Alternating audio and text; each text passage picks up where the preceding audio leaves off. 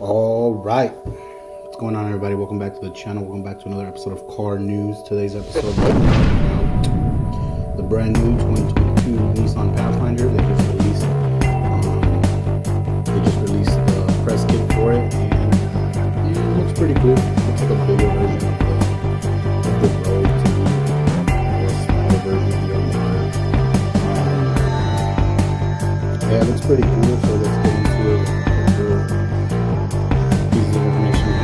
course, along with the whole rugged and road look. This car it is going to be available in the summer, so June, July, May. It's be it's a nine-speed transmission, so it doesn't say anything about a CVT. So uh, CVT haters rejoice. No CVT in this one. Already, I have it a little bit more. It's gonna have four-wheel drive with seven-position drive and terrain selector mode. That's cool. It's gonna increase the maximum towing capacity to 6,000 pounds. You'll be able to haul boats, ATVs, and trailers. It's gonna have seating for eight with new captain chair upgrades. It's gonna have EZ FLEX, one touch release, adds comfort, flexibility for the family, and a new available 10.8 inch heads-up display, 12.3 inch digital dashboard, co-pilot assist with navigator, and standard safety,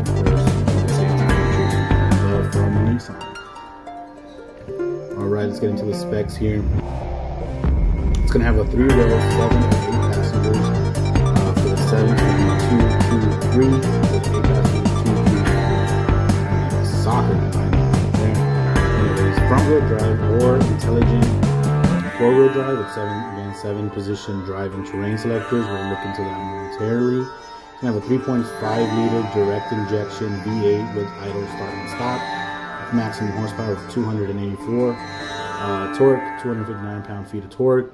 Transmission says here uh, nine speed automatic with manual paddle shift transmission. Again towing capacity is going to be the standard is 3500 pounds um, but it has an available 6000 pounds towing capacity. Tow hitch with harness 6000 pounds. Standard on the platinum available for sv and SL packages. Trailer sway control is going to be standard all across the board. Um, let's see, what do we have here? Wheel size 20, 18 or 20 inches. I'm assuming it's going to depend on which trim you go for. It's going to be the tire size is either going to be two 255s, 60R18s, or 255s, 50R20s. All right, available exterior features all new design with modern aggressive styling and rugged robust experience appearance. Full c-shaped leds headlights and standard led signature daytime running lamps impressive led taillights large pathfinder liftgate logo front and front and rear door intelligent as key in activation panoramic sunroof and motion activated um, liftgate with position memory. Available interior features is going to be a standard second row bench for eight passenger capacity, available captain's chair with removable center console. So kind of like the, I think it's the Acura MDX has that removable center seat in the second row. So if you want, you can either have the two seats or the three seats. Standard EZ FLEX one touch release, second row with push to, uh, push activation. Uh, standard tri zone automatic temperature control with second row climate control, 60-40 third row split seats semi aniline leather appointed seats with quilting, climate control front seats, and heated rear seats. Available interior for the screens, like I said, it's going to have a 12 inch, 12.3 inch digital dashboard. Standard will be 7 inches. Uh, on the Platinum, it's going to have a 10.8 inch heads up display. And it's to have, I'm assuming, top top tier is to be this 9 inch color display with multi-touch control. Standard will be 8 inches. Um, it's also to have Nissan Connect is going to have Apple CarPlay and Android Auto with wireless Apple CarPlay but not Android Auto. Wireless charging pad for your phone Wi-Fi spot XM radio Bose premium sound system with 13 speakers and intelligent around view monitor Nissan door-to-door connection so the Pro Pilot Assist with intelligent cruise control is only going to be for the SV and up. Pro Pilot Assist with Navilink is going to be SL and up. And then you got your standard features. You're gonna have the 360 emergency braking with pedestrian detection, blind spot warning, rear cross traffic alert, lane departure warning, high beam assist, and rear automatic braking. Class exclusive intelligent forward collision warning, 10 airbags, intelligent driver alertness, rear rear door alert. Available safety features are going to be blind spot intervention, intelligent lane change, intelligent lane intervention, front central mounted supplemented airbag, and traffic sign recognition. Cargo volume is as follows: 16.6 cubic cubic feet of room in the behind upright third seat. 45 cubic inches of room of room is going to be behind the second row upright with the folded um, with the folded third row and with everything folded 80.5 cargo room.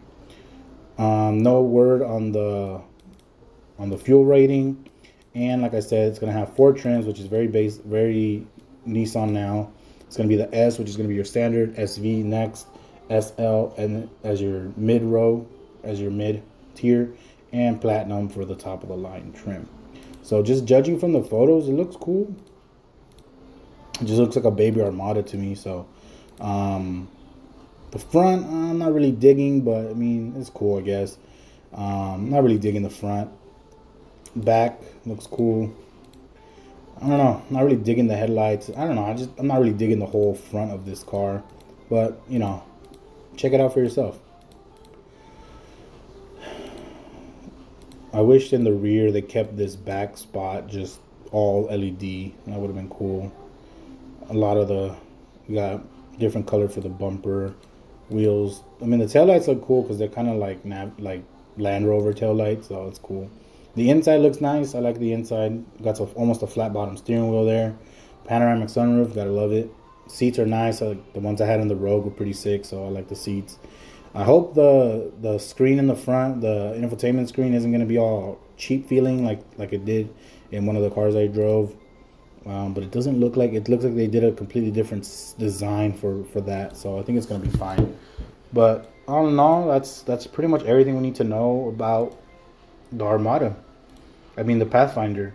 So again, all this is in the link in the description below. It's come from usa.nissannews.com. Um, if you like the video, give it a like and a, give me a like on the video. Subscribe to the channel, help me grow and bring you more content. Right now, I'm just busting out a lot of these car news videos because that's all I have right now. Um, this weekend we do we have more we have more car videos coming soon. Um, but until then, for now, this is what I have. This content that I have for you guys today. So again, thank you for watching. Um, don't forget to follow me on Instagram, Miguel Car Reviews. Check out my blog, miguelcarreviews.com. If you have a car you want us to feature on the on the channel, um, hit me up, info at miguelcarreviews.com. Thank you again for watching. Till the next one. Peace.